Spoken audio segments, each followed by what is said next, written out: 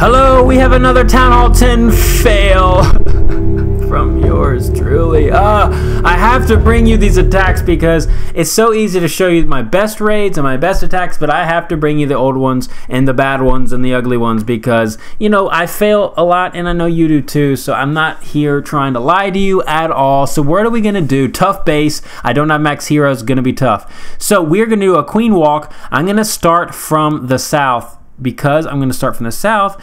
Well, the main reason is it's far away from those expos. As you can tell, there's no expos to the south there. So, hey, she's going to walk, and then I'm going to bring my golem over to that west archer tower, if you see that.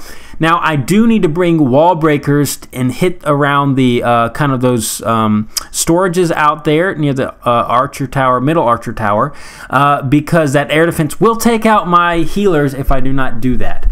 So that is the game plan, and hopefully the Valkyries will path right on. I'm going to save the jump spell for that second uh, Inferno Tower and to also the heroes and hopefully those inferno towers will drop but let's see what happens and as we go we're gonna speed it. here we go so queen walking it just bringing three healers now you can do three healers now a problem with three healers though you're gonna have to use sometimes um, rage, an extra rage on them.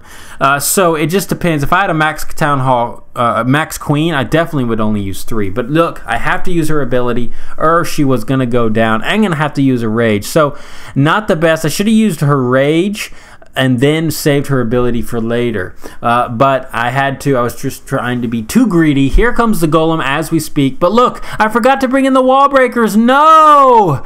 This was the first fail, and my uh, um, uh, healers will go down soon.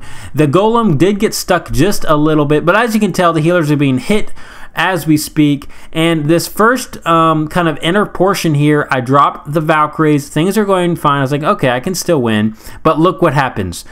The Valkyries actually passed because skeletons opened up in that other compartment. They did not pass towards the first Inferno Tower as I thought they would. And all from the very beginning, there's just too many defensive units on my Valkyries. I don't have enough power. And look, the Ray just fell flat. Complete disaster.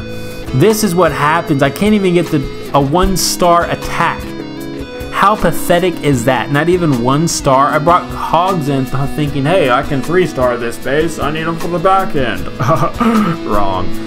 Uh, wrong as ever. I got okrafied. I got okra.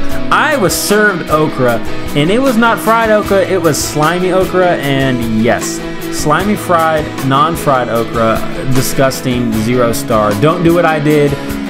That's how it is. Fail on my part. Anyways, thanks guys for watching. I really appreciate it. Love you guys. Take care. We'll see you next time. And as always, Halo out.